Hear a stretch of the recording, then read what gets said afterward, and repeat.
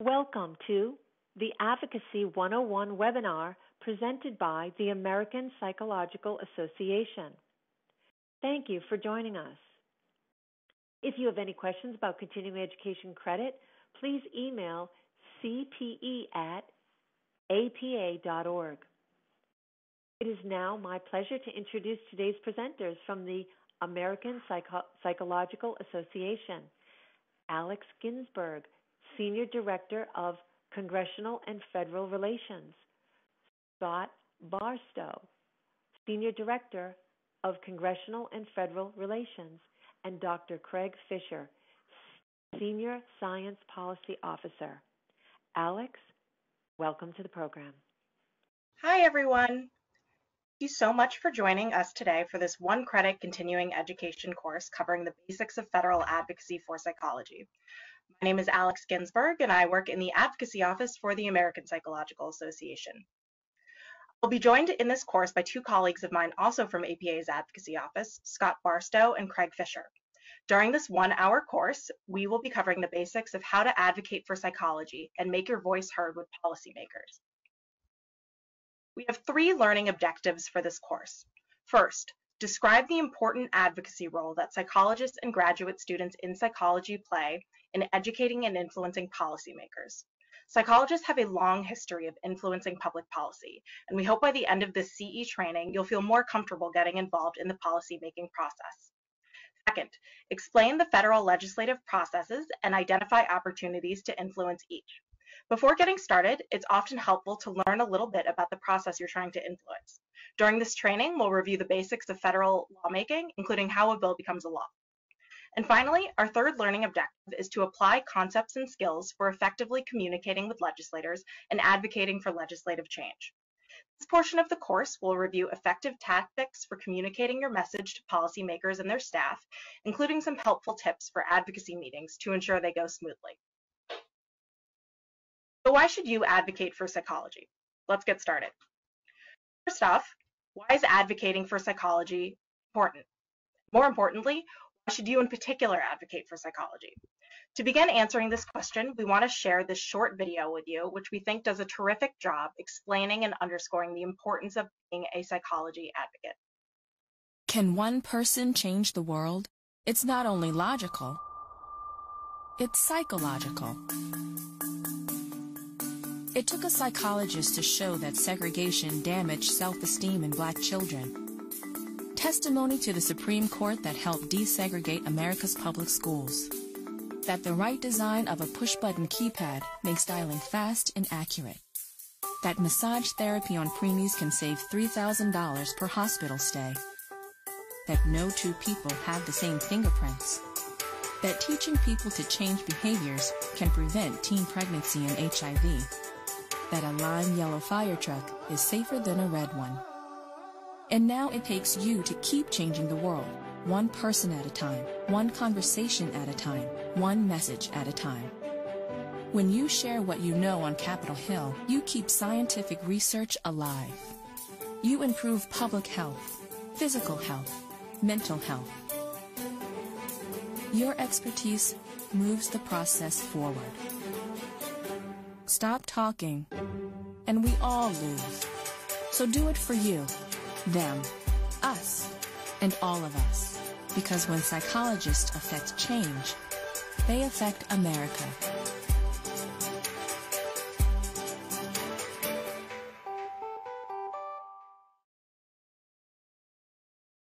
So as you can see, psychologists have a long history of making important contributions that have both transformed and informed public policies.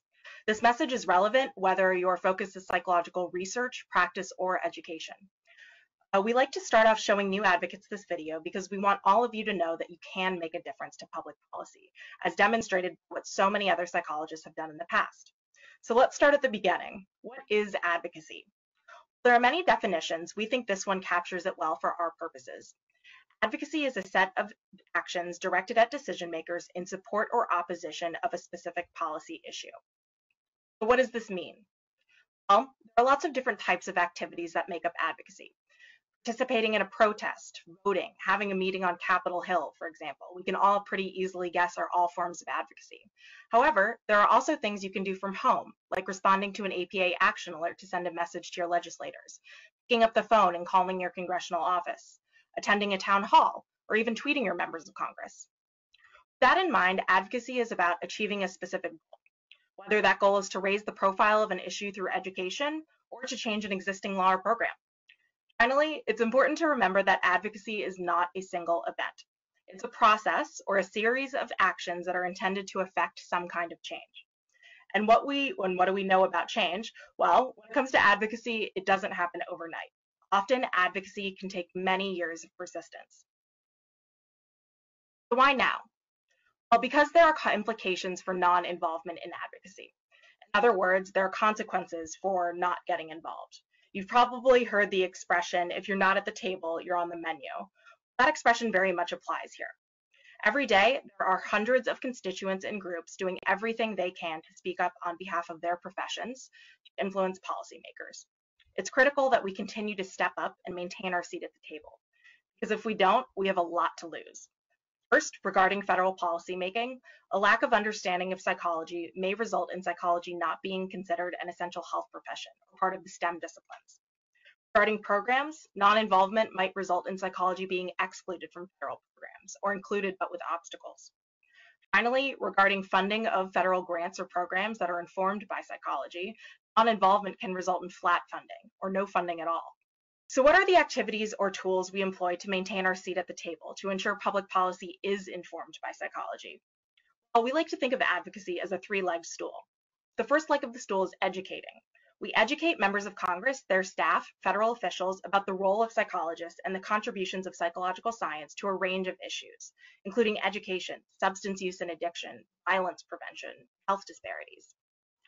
We cross the boundary from education to the second leg of the stool, lobbying, when we have a specific bill or program that we want Congress to support, oppose, or increase funding for.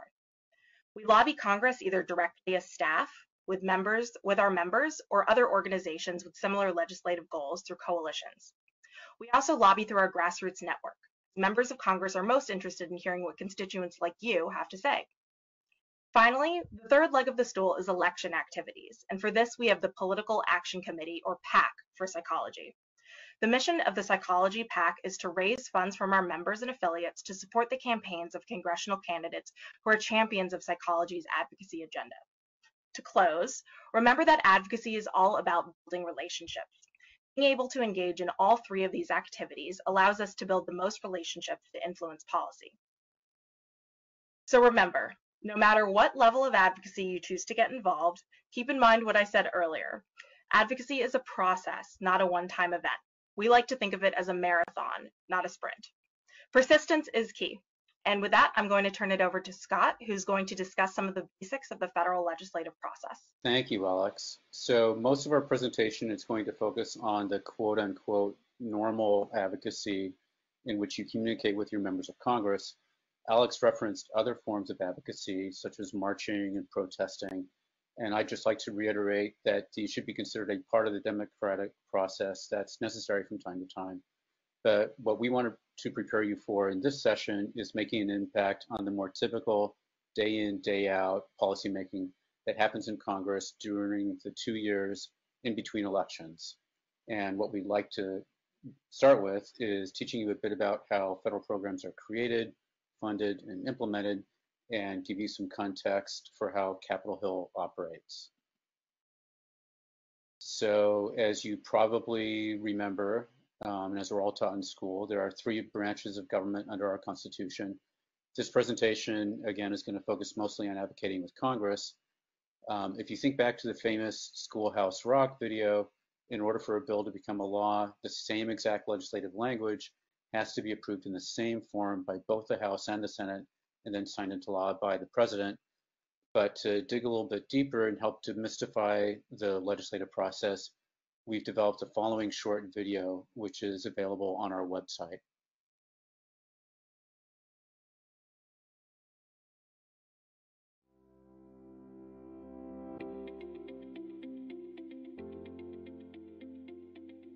The congressional policymaking process can seem complex and slow.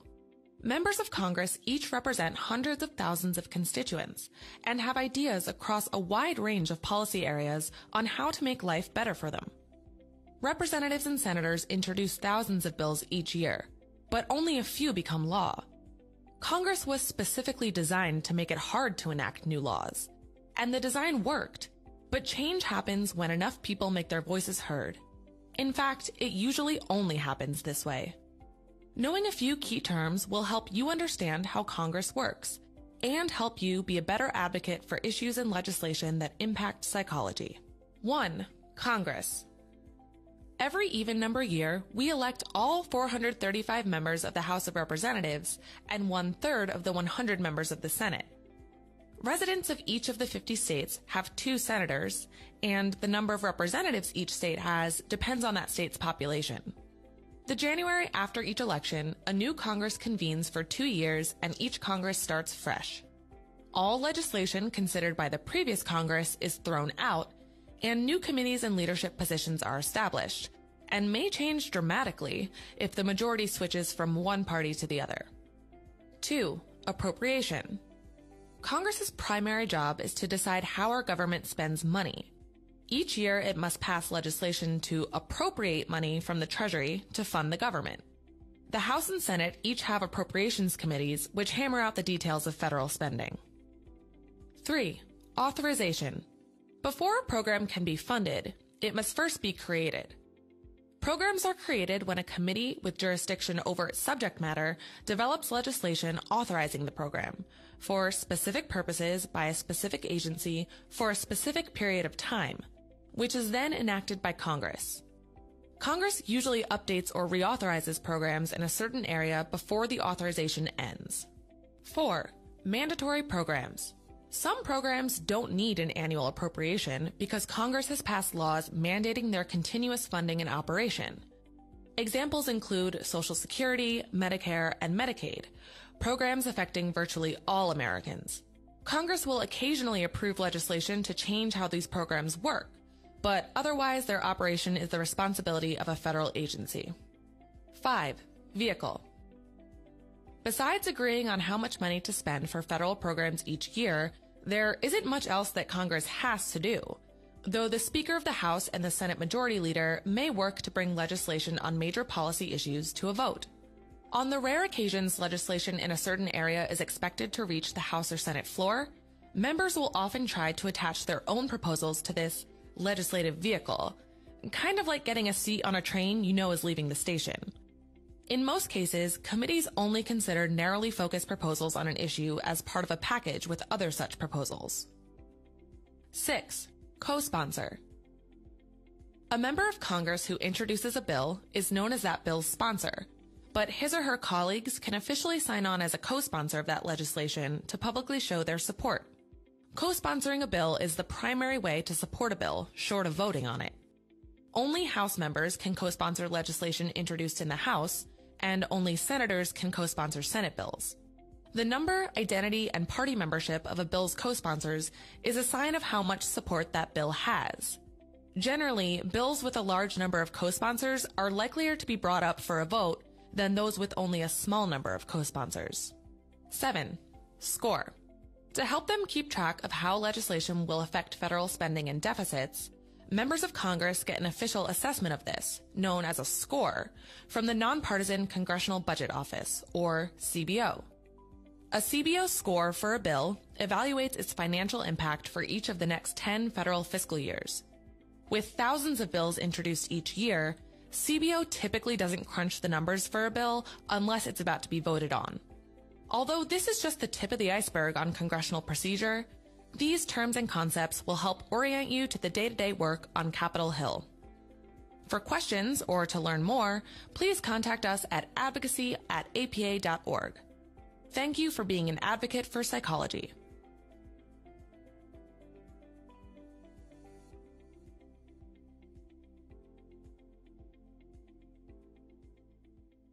So my apologies to residents of Puerto Rico and Washington, D.C. who do not have senators, but that may change someday.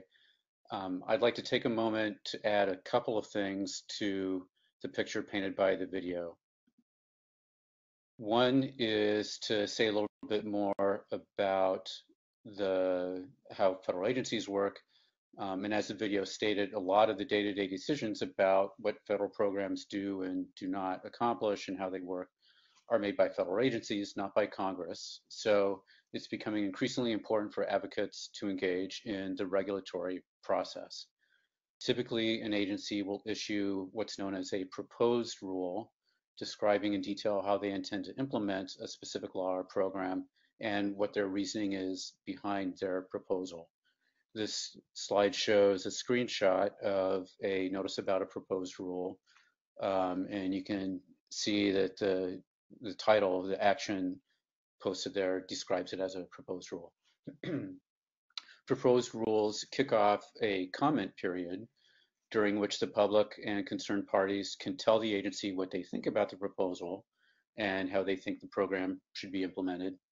After the comment period ends, the agency will take the comments into consideration and then issue a final rule, which generally describes the recommendations that they received about the proposal, um, what they think of those recommendations, and describing how exactly they've decided they're going to implement or enforce the law or program.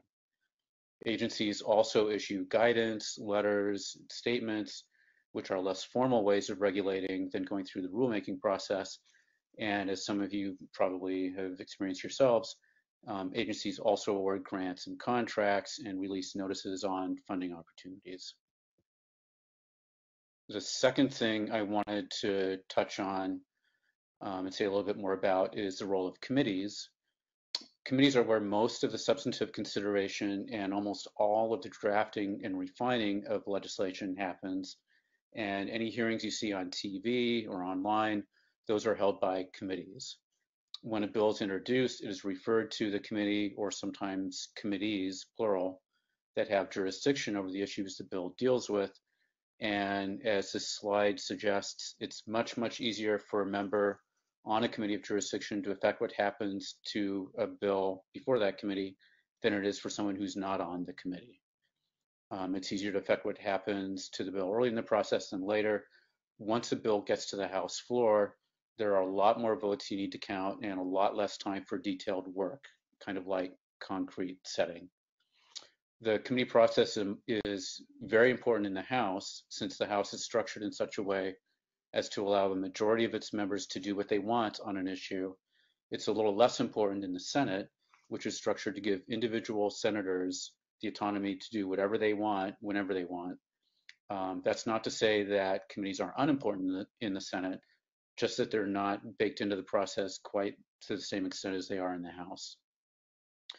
Um, one other thing I'll say is that um, a, a, word that you'll, you'll hear on Capitol Hill frequently that we didn't include in the video is markup, and it's used on this slide here.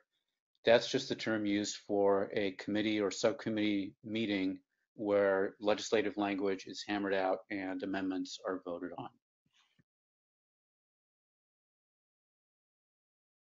So with that, um, let's look at what life is like for members of Congress and their staff um, rule number one of communications is to know your audience, and knowing how people spend their time is one of the best ways of getting to know them.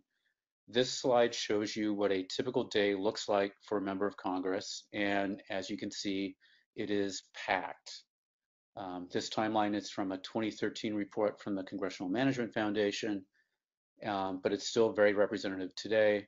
It was also very representative of what a day would look like for the member of Congress that I worked for um, from Oregon years ago, um, notice that there are different groups, different types of meetings and events, different subject areas that the representative is bouncing around between pretty continuously throughout the entire course of the day. So imagine this having this be your typical day and what that means for your typical week. And on the next slide, actually, you'll see the result. So this is from the same Congressional Management Foundation report.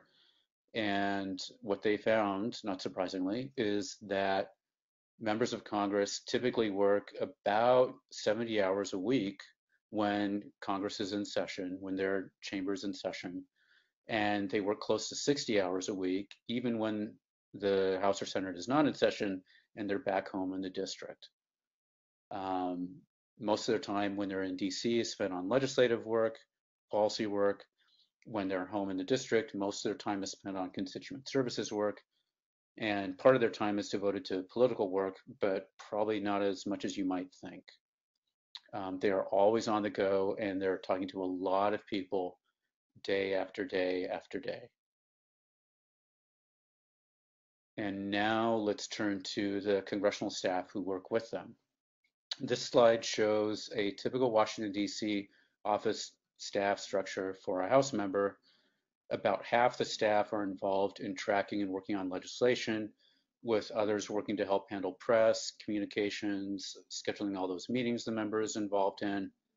It's the legislative staff shown on this slide, the legislative director, legislative assistants, legislative correspondent, and to some extent also the chief of staff, who do most of the policy work for members of Congress. And that includes meeting with constituents and lobbyists, talking to their colleagues working for other members of Congress, tracking committee hearings, developing legislation, drafting responses back to constituents, and preparing talking points and statements. Members have a similar number of staff working in the district back home, focused on constituent services work. Um, the district director, shown on the slide here, is usually on par with the chief of staff of the DC office in terms of the hierarchy of the staff. Um, while most of the policy work is carried out by the, the DC policy staff, um, developing a relationship with the district director can be very, very helpful in advocacy work because the two offices do communicate constantly. Um, I should note that senators typically have more staff than House members. Um, they've done a better job of making sure that members of that chamber have adequate staff than has happened in the House. Um, but Senate staff have the same general structure and division of labor between the DC and district offices as these two slides show is the case for House members. So um, turning a little more closely to the legislative staff, this is an example of how one House office divides up issue areas. Some House members may have four legislative staff, and again, Senate offices usually have a little few more legislative staff. But this gives you an idea of how much those staff are expected to keep on top of. Um, when I was a legislative assistant, I was responsible for healthcare policy, welfare, social security, women's issues, children's issues, veterans, hunger, housing, Medicare, and Medicaid. You take that collection of issues, any of the, the collections here shown for the LD and the two LAs, that is a lot to keep on top of. Um, and if you think back to the examples, example day schedule for a member of Congress a few slides ago, that same switching from one issue to the next and from one meeting to another holds true for staff on a typical day um, the same way that it does for the member, just not quite to the same extreme. Legislative staff are an extension of the member of Congress they work for forming a team with the member. They're always the same political party as their boss and usually just as ideological and just as committed to trying to make a difference and make the world a better place. But as you can see, it's a really tough job. We expect members of Congress to know what they're talking about in all of the areas listed on this slide. And when a member of Congress doesn't feel like she or he knows enough about something, they expect their chief of staff or one of these legislative staff to be able to tell them. So it's a very demanding job. And so, not surprisingly, um, like their bosses, congressional staff work long hours. Um, more than 65% of staff work more than 50 hours a week, and a lot of them work more than 60 hours a week. Um, and again, they're trying to do a good job and make a difference. And like their bosses, they often spend more time dealing with angry constituents than getting thanks from anyone for the work that they do. Um, unfortunately, congressional staff aren't paid that well, especially given how expensive Washington, D.C. has become to live, um, to live in, I should say. So staff usually don't stay in their offices, in their jobs for very long. Most staff who manage policy portfolios have only one to two years of experience on Capitol Hill, and the average tenure on um, on Capitol Hill is just over three years. So it's a, a, tough job. It can be very rewarding. It's very interesting work, but um, they they don't stick around forever and ever typically. So with that backdrop, there are a couple of other contextual points that you should keep in mind for working with members of Congress um, and their staff. One is that they're trying to serve more people than ever. Our country's population has been going up over the last several decades, but the number of senators and representatives hasn't. Um, and generally, neither has the number of congressional staff they have to help them do their work. Since 2000, it's like each member of, of the House of Representatives has a new moderately sized city of constituents to keep happy, and about double the number of constituents that they had back in the 1950s. Um, there's an even more important point to keep in mind, though, and that is that now we have computers. This photo is of either a member of Congress or a congressional staffer. I'm not sure which exactly, but when I saw it in a recent report, it took me back to my time working as a staffer for a House member from Oregon. One of my responsibilities was responding to constituent mail. That was a part of my job and I would have a stack of letters from constituents on my issue areas. I would need to draft responses for my boss to send back to the constituents on, and it looked pretty much the same as the stack of letters this person is working through. And the stack would always seem to be about that high all the time as the letters kept coming in. What that photo doesn't show you, um, because it's from 1963, is what's shown in the chart on the right, um, which is the number of contacts coming into Congress, has absolutely exploded with the advent of email. And if you look at the y-axis, notice that the units are hundreds of millions of communications. So it's all the same process, a constituent contacting the member of Congress about an issue, saying what they wanted the member to do, and expecting a response but now it doesn't take handwriting or printing a letter and sticking it in an envelope with a stamp. You can just send an email by clicking a button. Um, and remember, the number of congressional staff in each office has stayed about the same since the email explosion happened. So what that means um, is that by now, email constitutes about 80 to 90% of constituent communications, um, the problem is that a lot of the emails look the same from the perspective of the member of Congress and his or her staff. And as a Congressional Management Foundation report from earlier this year stated, the high volume of identical form email advocacy campaigns generally does not substantively contribute to public policy, and it requires significant staff time to manage, process, and respond to them the massive amount of input that members of Congress and their staff get have forced them to operate like an emergency room triage unit. Um, in some cases, they don't even bother responding to identical form emails anymore. Um, and whenever possible, they'll use a canned response on an issue that they've already prepared to respond to someone writing on, on the same issue. And so the basic calculus that they're in, using is that the more effort a contact takes on the part of a constituent, um, the more that contact, the more that um, constituent will be listened to. But the fact is that they are listening. Um, they're simply trying to se separate the signal from the noise. A survey of members of Congress found that absolutely nothing contributes more to their job satisfaction. Whoops, sorry, Absolutely nothing contributes more to their job satisfaction than staying in touch with their constituents. They really want to know what's happening. They're just trying to sort the wheat from the chaff. Um, but it's it's essential to their job. They do care. They are they are listening. You just have to know how to to speak their language. And the fact that they are so concerned about staying in touch with what is happening to their constituents and in their community is why state, provincial, and territorial psychological associations are an essential part of the federal advocacy process. State and local state and local associations are literally close to home, and members often care, usually care, more about what these organizations want them to do than about what a national organization wants them to do. Um, and this is borne out by another survey that the Congressional Management Foundation did. Um, the most effective form of communication for members who haven't already made up their mind about something is an in-person visit from a constituent.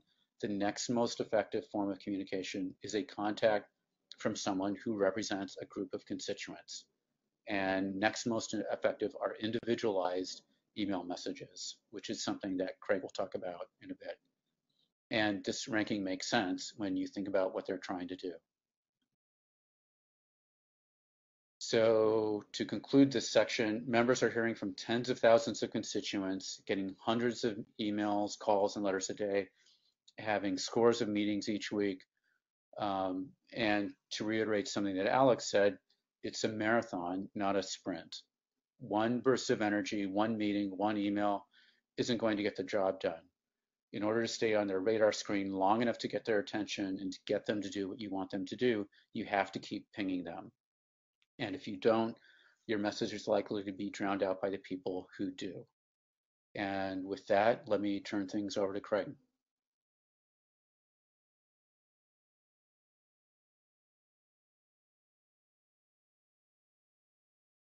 Well, thanks, Scott. So now you've heard about why you should be an advocate for psychology information about the federal legislative process and the makeup of congressional offices. Now let's shift into thinking about how you can uh, think about using your expertise to advocate for psychology and influence this process. What pieces of information are most important to communicate? How should you think about framing your message? To start to address these questions of how to advocate for psychology, we want to share with you another short video. In this video, we talk more about how to prepare for and participate in a congressional meeting. We think it does a great job of explaining some key points about communicating with Congress. We hope to make it seem more fun and less intimidating. Although the video was developed with in-person meetings in mind, the key points still hold true for a variety of advocacy settings. The greatest thing you can bring to Capitol Hill is your message. More than a piece of paper, it's your research, your experience, your perspective, your voice. And when legislators hear your message, amazing things begin to happen. After all, your message to Congress proved that tobacco companies were hiding the truth, that juries were more fair when they grew from 6 to 12, that military and veteran suicide can be prevented. But every day, hundreds of other people show up to champion their cause. How do you make sure your life-changing, life-saving message gets through? First, you create it. Come to the American Psychological Association and we'll help you speak directly to your audience and the needs of their district or state.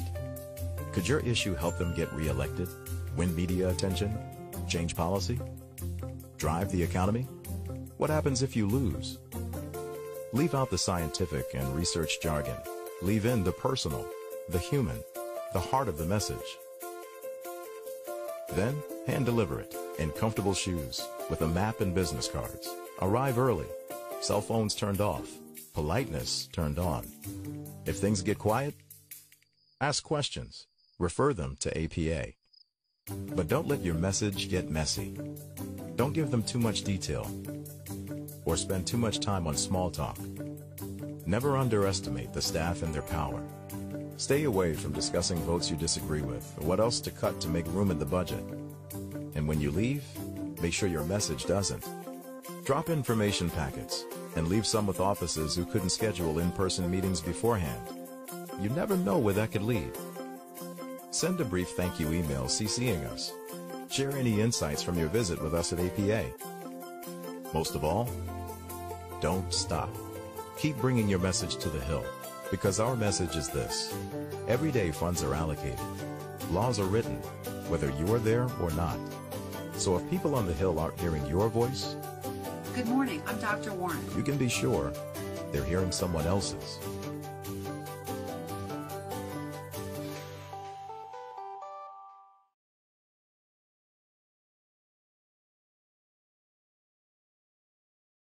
So, whether it's an in person meeting, a video meeting, or even a conference call, it's important to keep in mind your overall message needs to do at least three things.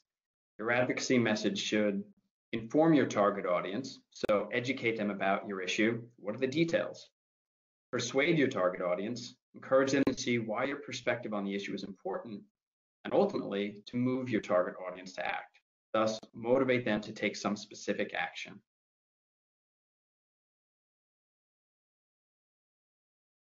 Broadly, your communications on uh, an issue should be informed by these uh, key questions.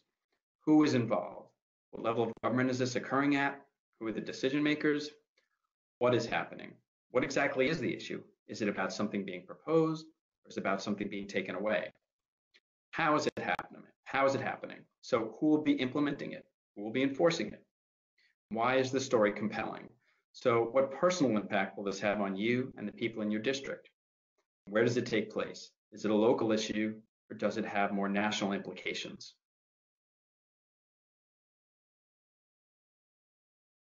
In advocacy, we like to think about communications in three buckets. First, there is indirect communication, talking about someone or something. It can be media-based and includes letters to the editor, op-ed letters, social media, and demonstrations. Next is one-way communication, so addressing someone, directly addressing someone. It includes sending emails, such as when responding to an advocacy action alert, and letters. The third is two-way communication, which is relationship-based and more of a conversation. It can include congressional hearings and briefings, Capitol Hill meetings and in-district visits, site visits to your university, town halls, video meetings, phone meetings, and emails. The two-way or interactive type of communication is the most effective way of communicating with a policymaker or their staff. Although we typically aim for in-person meetings, it can also be done through video conferencing and phone calls. Conversational face-to-face time with members of Congress or their staff is widely viewed as widely viewed as the gold standard for getting your message across.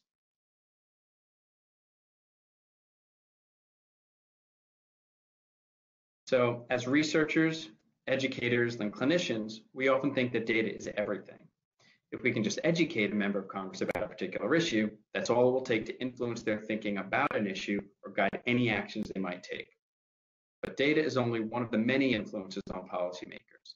Members are also influenced by many other things, including party affiliation, if they're being compelled by leadership to vote a certain way, social media and what they see or read in the news, whether or not members are up for re-election this year, in which case constituents' views are especially important, and even their own life experiences.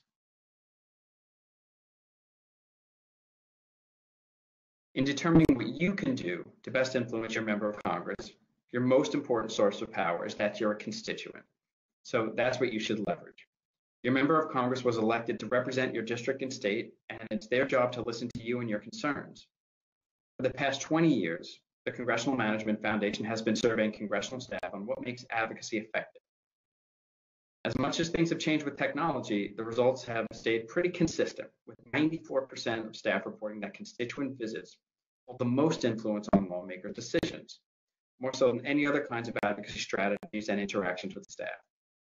Even personalized email messages and letters are viewed as nearly twice as effective when compared to form email messages and postal letters.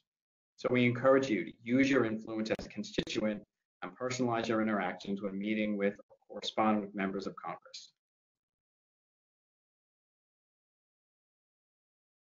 Given that email is one of the most common ways for constituents to contact their members of Congress, it's important to know how to do so effectively. This video discusses some of the basics about how to email your member of Congress about your issue by crafting a clear and concise message in order to increase its impact.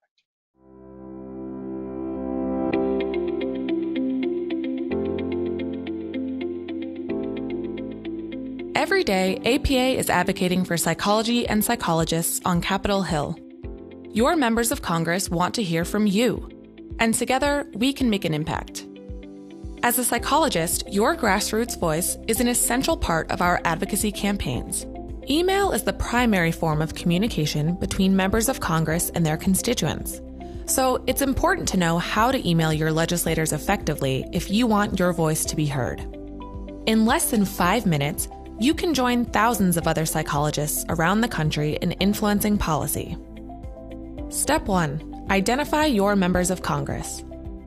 Find your members of Congress on APA's Legislative Action webpage using the drop down list on the Senate website at www.senate.gov or by entering your zip code in the search bar on the House website at www.house.gov. Once you identify your member of Congress, you will see a link or mail icon directing you to the appropriate contact page.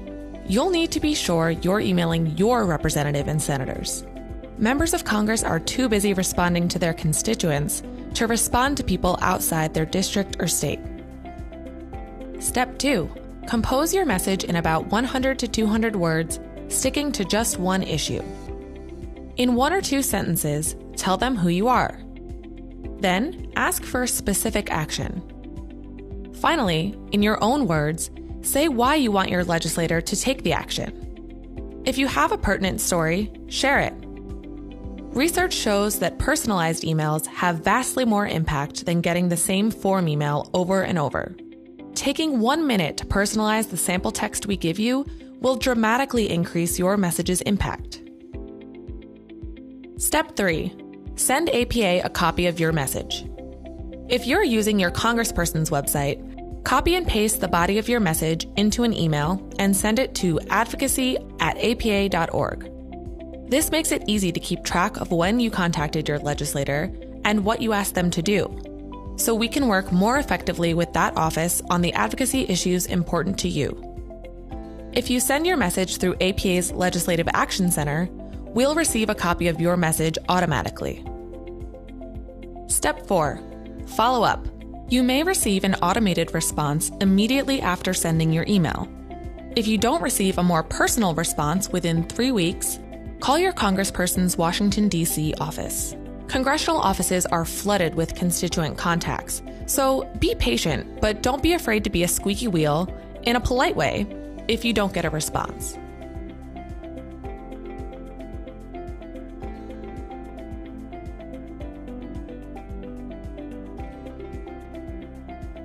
Thanks for your interest in impacting federal policy. If you have any questions, email us at advocacy at apa.org.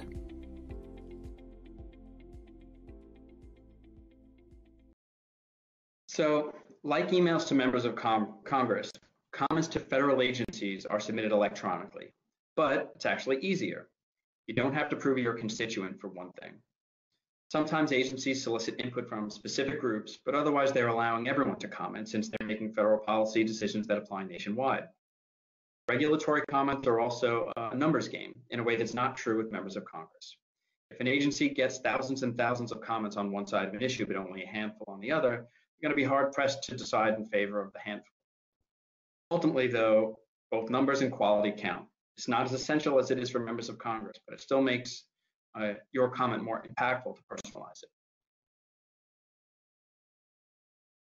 And whether you're emailing a member of Congress, participating with them in a video conference, meeting with them in person, without question, personal stories are like gold and critical to making the case about why your issue matters. In a survey of congressional staff, only 18% said they frequently heard a personal story related to a legislative request. 79% of them would have found a personal story from the constituent to be helpful to a congressional visit. Knowing this information should provide you with a keen understanding of just how important your personal story is. Congressional staffers meet with many groups every day, all who bring fact sheets, data points, and statistics to their meeting. The fact of the matter is, no matter how compelling a statistic itself is, it's the story that brings the statistic to life. It's the story that illuminates serious problems and issues in the district. And stories are long remembered when data points are not. Although we understand that not every issue lends itself to this sort of storytelling, it should always be the goal. And remember, as the saying goes, all politics is local. So members of Congress care deeply about how an issue impacts their own district or state. So finding commonalities with the policymaker or staff that relate to local issues is another great way to build a relationship with your legislator. Remember, they're all people too, with families, friends, and strong personal connections to your community. This can sometimes be hard information to come by, but if you can, try to get more information about the local impact of a proposed policy the data, the details, and of course the stories. In what way does it affect lives, jobs, or the economy in your state or district? How this policy impacts your community will really matter to the member of Congress and their staff. By providing this information, you can start to build an ongoing relationship with their, office. One of the most important parts of a congressional meeting is referred to as the ask, or what specific action are you requesting that the member of Congress takes. Be clear and concise when delivering your message and request to policymakers. What is it you want them to do? Constituents often ask their members to co-sponsor legislation, vote a certain way on an issue, or support an agency's or program's funding level. Legislators need to know how this issue is affecting their state or district, and the ask communicates what action they can take that will address your issue. The timing of your communication does require some level of knowledge about current events and the congressional calendar. APA staff can serve as a good resource in determining when is the most appropriate time to approach and communicate with members of Congress on a particular issue. So what do you do if you can't get in to see your member of Congress? We've already mentioned that using other means aside from congressional meetings can help develop relationships with policymakers or their staff. Using social media and traditional media can draw attention to your issue and increase the chances for your voice to be heard. Marjory Stoneman Douglas High School student Emma Gonzalez is an example of someone who became, nationwide, the face of school shootings and an advocate who effectively used social media to further her efforts. A survivor of the Florida high school shooting, Gonzalez became a vocal advocate for gun violence prevention and in just two weeks surpassed the number of Twitter followers of a well-known pro-gun lobbying organization. So we need you to bring your message, your clinical experience, your scientific experience, your teaching experience. In other words, your expertise and perspective as a psychologist, researcher, educator, or graduate student. Hill meetings often last for just 15 minutes total, so you need to prepare to concisely convey these key pieces of information. And with that, let me turn it back over to Alex Ginsberg to discuss some tips for successful advocacy meetings. So now that you've heard a bit about the legislative process from Scott, and a bit about how to effectively deliver your message from Craig, I'm going to give you a few helpful tip, tips to ensure that your meeting runs smoothly. I'm also going to tell you a little bit about what to expect in a meeting with a legislator or a member of his or her staff, whether the meeting is on Capitol Hill or in the district. So let's start at the very beginning with some basics. How do you request a meeting with your legislator or a member of their staff? Do you have to travel to Washington, D.C.? The answer is no. You do not have to travel to Washington, D.C. to advocate. You can schedule what we call an in-district meeting. We'll go over some of the benefits of having an in-district meeting on the next slide. In addition to their Washington, D.C. offices, all members of Congress have offices in their home states and districts. Uh, larger offices, larger districts actually may have several locations. You can find the contact information for your member, your member's Washington, D.C. office and local district offices on their website To begin the process of requesting a meeting, simply call the phone number of whichever location you prefer to have your meeting. If you'd like to request a meeting with a staffer, the process is simple. Call the office number and simply ask for the name and email of the staffer covering the legislative issue you plan to speak about, for example, health or education. From there, you can follow up with an email to that staffer, which can be very brief. We've provided a sample email to a staffer here on this slide. If you'd like to request a meeting with your member of Congress, the process is a few additional steps.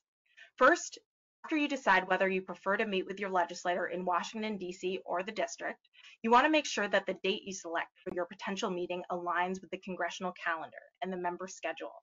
Remember, members of Congress split their time between Washington, D.C. and the district. So you want to avoid requesting a meeting for a date in the district, for example, when you know Congress is in session and your member of Congress is likely to be in Washington, D.C. Help pick a suitable date for your meeting. Just do a little research on the internet beforehand and look up what's called the current congressional calendar. This will tell you what the current Congress, when the current Congress is in session, including the dates of when they're in the district, known as district, known as district work weeks, um, and when they're in Washington. Once you have that date in mind, call the office of the location you want to have the meeting and ask for the name and contact information for the member's scheduler. Follow up with an email request to the individual detailing the purpose of the meeting and who you expect to be present. Please know that APA staff are always available to assist you in scheduling a meeting with your congressional office. Before moving on, just a quick bit of information on the importance of in-district meetings. Remember, you don't have to travel to Washington, D.C. to advocate. District offices focus on responding to the needs of local constituents, and they work closely with their counterparts in Washington. There are tons of benefits to having in-district meetings. Because members' schedules tend to be less hectic in the district than in Washington, constituents are often more likely to have an in-person meeting with their legislator in the district than in Washington, D.C. In addition, we often hear that constituents have longer meetings with their representatives in the district than in Washington. So we definitely encourage you to set up an in-district meeting because building relationships with your district office is just as important as building relationships with your member's Washington office. Right, so you've set up your meeting with your legislator or a member of their staff. What are a few things that you can do ahead of time to prepare? Well, first you want to do some research. Why? Because you want to figure out a way to align your request with his or her priorities. Start by doing a simple search on the internet to find your member's webpage.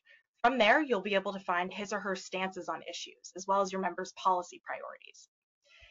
If your ask is for your member to co-sponsor a piece of legislation, be sure to look up what legislation he or she has co-sponsored recently.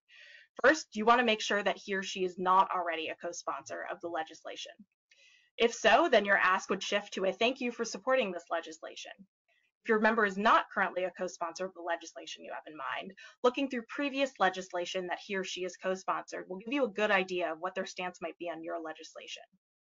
Other pieces of information to research about your legislator are what committees they serve on, what caucuses they're a member of. Get a sense of what their office is working on right now. Take a quick scan of their recent press releases. Remember, the purpose of doing all of this research is so you can find a way to align your interests with theirs. In addition, if you're meeting is part of a group, be sure to talk to the other members of your group ahead of time to plan who will say what. This will make sure you'll be able to get all of your talking points across and that your message or messages are delivered smoothly. So let's go over a few do's and don'ts for your advocacy meeting. Keep in mind that these tips apply whether you're meeting with a staffer or a member, having a virtual or in-person meeting. Remember, as Craig said, we need you to bring your expertise and perspective as a psychologist, researcher, educator, or graduate student. Again, you may have more time if you're meeting in district, but on average, Capitol Hill meetings are only 15 minutes long, so you need to be prepared to concisely deliver your message. First, do introduce yourself and mention where you're you are from in district and your professional affiliation. You want to establish yourself as a constituent. For example, hi, my name is Dr. Ginsburg and I'm a constituent from Fairfax County, Virginia. Next, do discuss the issue of concern and your connection to the topic, ideally through, told through a personal story or an anecdote. For example, I'm here today on behalf of the American Psychological Association to discuss mental health concerns in our district. This issue is personally important to me because growing up, I had a brother with autism. That's what drove me to become a psychologist in the first place. Next, you ask the member of Congress or staffer to take some sort of action. So something like, given the growing mental health concerns in our district and stigma surrounding seeking mental health services, I am asking your office to co-sponsor HR 1234, which would establish June 31st as National Family Mental Health Day. At the end of your meeting, do say thank you and offer yourself as a resource if they have any follow-up questions. Finally, do take pictures and share on social media. Encourage others to get involved. So now that we've gone over a few do's for your meeting, a couple don'ts as well. Don't underestimate staff. Be prepared. The average age for a Hill staff assistant is early to mid 20s. Staffers may be young, they are the policy leads for those respective areas. Many have years of experience in an issue area and communicate regularly with other experts. As a result, they probably have a good grasp of the 40,000 view of the issue. Don't express disappointment for not meeting with the member. As Scott mentioned, members of Congress have a lot going on during their average day. Uh, often things come up at the last minute, so be flexible. Don't take a phone call or text during a meeting. Basic etiquette goes a long way. Any distraction during a meeting will take away from the limited amount of time you do have with the staff or a member. Don't be surprised if another issue is raised. This happens as meetings progress and staffers remember questions or topics from other meetings. As Scott mentioned earlier, these staffers are covering a ton of issues. If you aren't sure about an answer to a question, simply say, that's a great question. I'm not sure about the answer, but I or APA will be happy to find out and get back to you. If the meeting goes off track, politely redirect it back to your original request. Remember, it's up to you to you it's up to you and your colleagues to steer the conversation back. Don't overestimate the influence of data. As Craig said, as scientists and academics, we often think that if we can just convince them with the data, they'll be able to see our view. And while data can be an important it can be important to help your argument, it's personal stories that make a real impact, often when data is long forgotten. Remember, don't forget that you're the expert and the voter. You have unique education, training, and experiences which are invaluable during a meeting. Be confident. It's their job to listen to your concerns. Don't get political. Remember, meeting will be short. If you spend seven minutes getting into a political discussion about something, or even making small talk, that's seven minutes of your meeting you won't get back. Use them wisely and remember why you're there to move them to action. before I turn it back to Scott, just a few tips for after your congressional meeting. First of all, always send a thank you note. After your meeting, we'll provide a sample thank you note on the following slide. Um, as we've mentioned, advocacy is about relationship building and maintaining those relationships. So it's important to continue contact. One good follow-up activity is to work with your faculty to, to arrange for your member of Congress or a member of their staff to do a site visit at your institution or program. Remember to keep informed about your legislative request. For example, if you know that your legislation is that you're requesting uh, is going before a certain committee that the member of Congress sits on, that's a great time to follow up with them. And finally, continue to engage with APA. We want to hear always about the fabulous advocacy work that you're doing on behalf of psychology. Promised. Uh, just to make your follow-up even easier, here is a sample follow-up email to a staffer. Again, this is a great opportunity to summarize your meeting, reiterate your most compelling talking points, provide electronic, electronic versions of any materials you had during your meeting, and of course, restate your ask. Don't forget to offer to be a resource to their office in the future. Finally, remember what we've been saying throughout this presentation, persistence is key. Building a long-term relationship is beneficial, even if you're bringing the same message to the same staff person every year. This keeps the issue on your congressional office's radar, because the easy way to, easiest way to forget about an issue or a program is if we stop talking about it. And with that, I will hand it back to Scott, who is going to wrap things up for us. Thank you, Alex. By now, you've probably noticed a common theme across all of the ways of engaging with your members of Congress. Be prepared, be polite, be specific about what you want them to do, and again, be persistent. I know we were being persistent in encouraging you to be persistent, but it's a, it's a key point. Approach it like you're developing a relationship or a, a partnership because you are. Democracy is a continuous process, and just like you need to call a plumber sometimes or an electrician to fix a leak or install a new circuit breaker, you need your representative and your senators to keep things running well for you and your community. You're paying them to do this, and it's going to be a lot harder for them to do their job if you don't let them know how you want them to do it. Have their number handy and stay engaged with them. And realize that it's not always going to work. In many cases, you won't get the answer you want, but as Franklin Delano Roosevelt said, I have no expectation of making a hit every time I come to bat, what I seek is the highest possible batting average. And as we've described here today, there are ways to increase your batting average. And to quote another great American, Justice Ruth Bader Ginsburg, if you're going to change things, you have to be with the people who hold the levers. It is extremely, extremely rare to be represented by an elected official who you always agree with. No candidate is perfect. Um, and by the same token, it's extremely rare to be represented by an elected official who you always disagree with.